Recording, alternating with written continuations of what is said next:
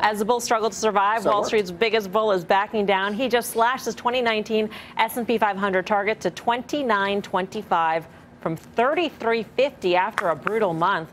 Let's bring in Jonathan Golub, Chief U.S. Equity Strategist for Credit Suisse. Jonathan, good to have you with us. Good to be here. Is it fair to say you backed down?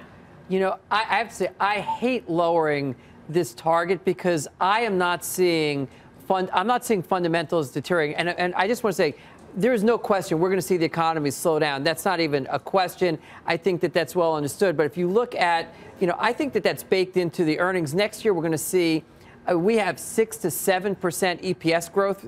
Not fantastic, but good enough. And if we have the Fed done, which I think is what we're going to find out either soon or either very soon or somewhat soon, that plus 6 or 7% EPS growth, I think is enough for this to get the market back on better footing as long as nothing goes wrong. Okay. So yes, am I still bullish? Yes, but so, I, but yes, I'm, I have so to take can, it down. Can I ask you to pull the curtain back in terms of how Whoa. you strategists come up with these year-end targets? Because sure. I'm assuming, or I always thought growing up, that you had models and you plugged in, you know, what earnings, what you thought earnings would be for right. next year, et cetera. Has that changed, or has it simply been the market pulled back in the month of December, and you said we are going to return X percent, and so therefore I have to re-rate my price targets? By the way, 13-year-old yeah, Melissa so, probably was thinking about it. No economic models. By the way, it's a compliment, I think. But uh, so, but so let's start with the earnings.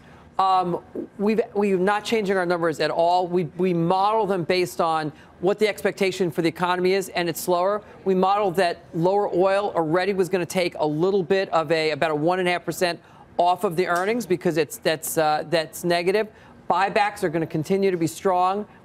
You know, one and a half percent from buybacks. We get something that's like you know, like I said, six to seven percent, which is not brilliant, but is probably okay.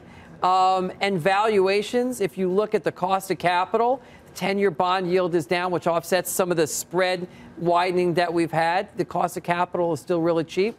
And recessionary risk right now, I mean, we talk about weakness. The ISM has been printing close to 60. When we're not going into recession, so I think the market rates, I have, as much as I lowered my number, 15% upside on a number which which is a lot lower than what I thought it would be or so wanted. Jonathan, when you're talking about you see news like FedEx, which is I would say some sort of a barometer, bellwether, and Micron perhaps. Sure. How do you think about that in terms of your earnings forecast? Because tomorrow the market's going to say they're going to rate everybody lower because of what FedEx did. Right. So I look at a couple things. One is I, I, look at where I think the earnings would be based on, like I said, economic drivers. And then separately, we take all the Wall Streets, all the analysts across Wall Street, not just the Credit Suisse guys, but the consensus. And I look at what are they doing and how are they revising their numbers. And right now, the revisions are like very normal. Like it's not like analysts are slashing uh, their numbers. And if they are, it's probably because they're seeing the market going down and feel, you know, no different than with me with my numbers. I, I got to cut something here. Maybe I'm too optimistic.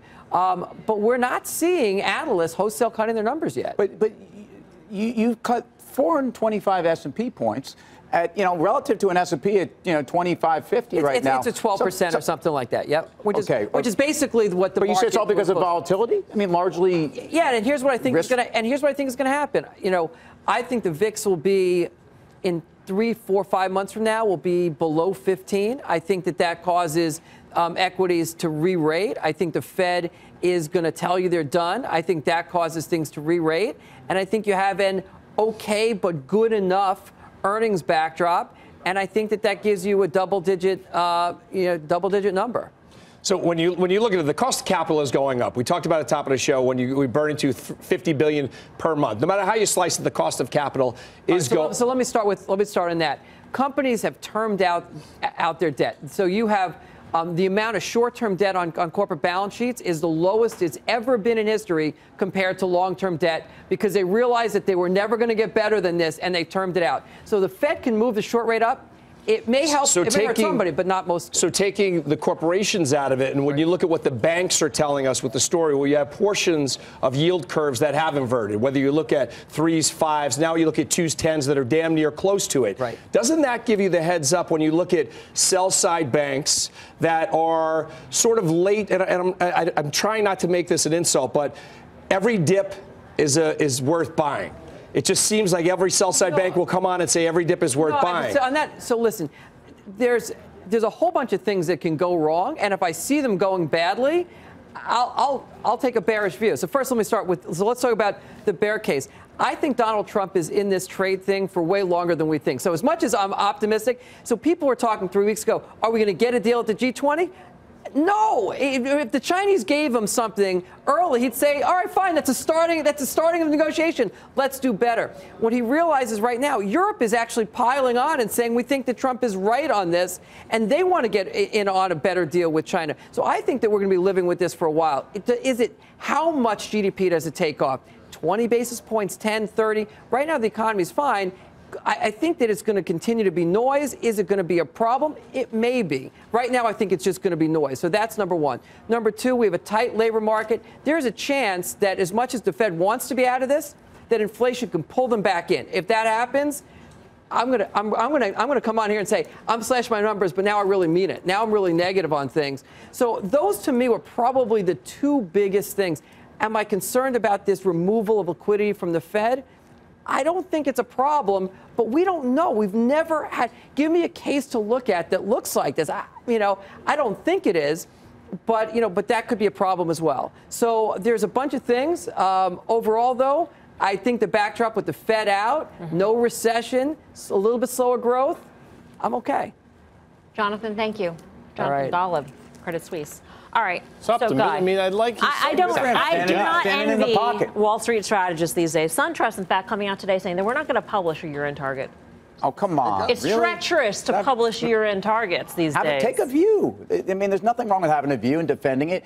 People don't necessarily, they applaud you for taking a view and having cogent arguments and not necessarily always having to be right. At So- least you know directionally where somebody stands. But anyway, Guy. Well, I think Steve brings up the $50 billion that's coming off the Fed's balance sheet every month. Tim mentioned this last night. He talked about $600 billion for the year. I mean, the easiest thing to do when you're trading or putting on a prop trade is getting into the trade. The hardest thing to do is getting out. And that's what the Fed's trying to do. And they're trying to do it in an elegant fashion, not to disrupt the markets.